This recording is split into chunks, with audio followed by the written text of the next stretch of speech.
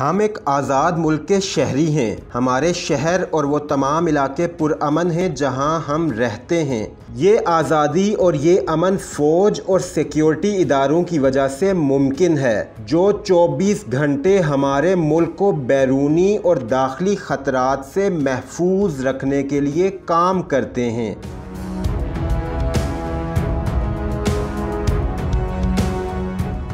दोस्तों, हमारी अफवाज की दिफाई खदमात और बहादरी का सालाना जश्न कौमी योम दिफा के तौर पर मनाया जाता है।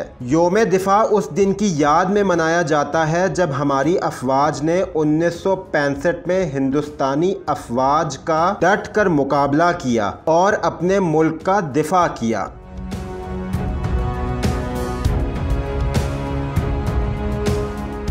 दुश्मन ने 6 सितंबर 1965 को लाहौर, सियालकोट और सिंध के सहराई इलाकों पर हमला किया। 22 सितंबर 1965 तक जंग जारी रही, जिसके बाद फरीकैन ने अकवा मुतहदा के जेर इंतज़ाम जंग बंदी को कबूल कर लिया। हमारी अफवाज ने न सिर्फ़ जेर हमला इलाकों का कामयाबी से दिफा किया, बल्कि हज़ारों शहरियों और उनके घरों की हिफाजत को भी यकीनी बनाया।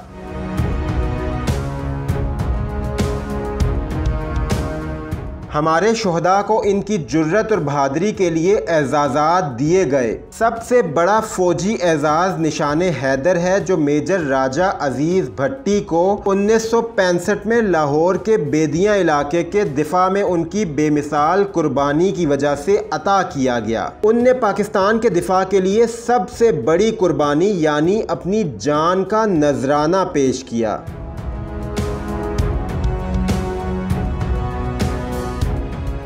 योम दिफा, हमारे इस अज़म की तजदीद का भी दिन है कि हम एक मज़बूत कौम हैं और हम किसी भी गैर मुल्की कौम से डरेंगे नहीं, चाहे वो जितनी भी मज़बूत क्यों ना हो। 6 सितंबर 1965 पाकिस्तान की तारीख का वो दिन है जब जुर्रत और बहादरी की नई तारीख रकम हुई।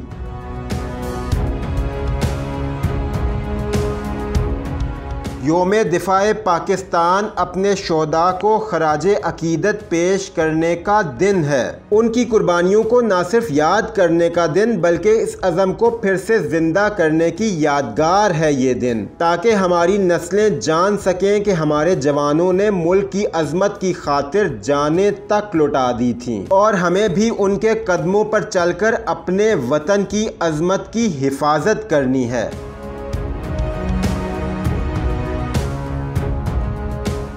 हम उन तमाम शहीदों, गाजियों, दलेरों और बहादरों को सलाम पेश करते हैं, जिनकी वजह से हर ख़तरे से महफूज हम सुख का सांस ले रहे हैं और उन सब के लिए मिल के दुआ करते हैं कि अल्लाह उनके दर्जात बुलंद फरमाए और हमारे वतन अज़ीज़ को रहती दुनिया तक कायमो दायम रखे।